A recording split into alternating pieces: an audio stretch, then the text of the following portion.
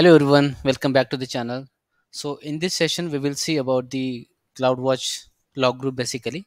So I want to uh, tell you one trick tricks basically how to save the cost for the CloudWatch logs okay as a retention period okay and then how to get the proper keyword based filtration or we can say log insights query to fetch particular data from the logs okay so let's see uh, both the things today so i just came into the cloudwatch here.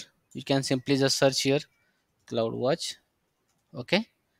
And after the navigate to the cloudwatch you will see the dashboard like this okay? Then just click on log group okay? Here i have one log group which is name you know uh, demo hyphen world so if i just open this log group and just ex explore and you can see i have multiple uh, log streams basically so what will happen? Let's say in the real time cases we have we have to search the error log with the keyword base you know like uh, we want to see only the error basically not the info logs.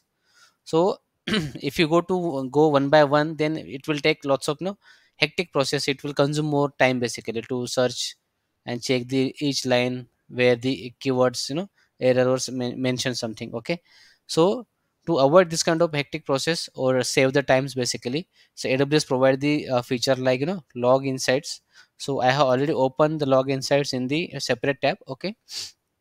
You can see here. So don't worry about the key query. So i will uh, give this query in the description box okay? So we can use this kind of query here. Just i am just filtering the error here okay error keyword. And uh, the main thing is you need to select the log group from here okay? You can see the log group name is you can see here aws lambda demo hyphen world okay?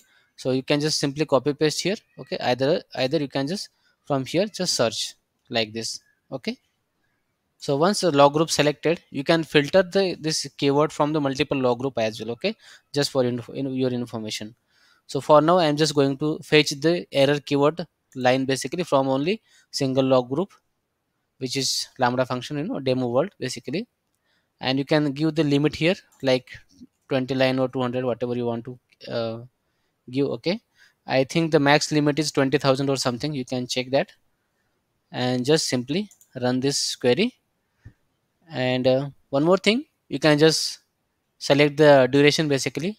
Let's say in the real time cases you want to fetch the uh, data from you know, log uh, basically from last one hour or 12, 12 hours. Depend upon your requirement basically okay? You can just click on this button you will get the drop down okay? Additional page basically where you can select the time duration either minutes in hours or weeks okay? And if you want to go more than weeks then you can just select unit of time here okay? Months. And you can select whatever month you want to fetch the data basically okay you can see now we i have 10 uh, records where mentioned the where i got the got the basically error error.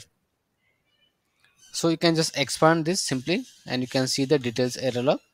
Let's say in the real time cases you can just share this log to your developer team or respective team okay to resolve this issue. This is for the how we can uh, use the log insights query to fetch particular uh, keyword based log basically from the log group okay? So now one more thing i have i want to give you the tricks basically. So in the real time cases if we store the log for the longer period of time then we will get the storage storage cost basically okay? So in real time cases really if you don't require the uh, older data older log basically let's say more than one month okay? We don't require so just whatever the log group you want to uh, set the retention period here you can just select that retention period and simply on the retention uh, by default it's uh, never expires. You can just click on that simply and what what uh, retention period you want to keep just select that. Let's say last one one day or three weeks or whatever okay? Two weeks one month. You can see maximum 10 years period okay?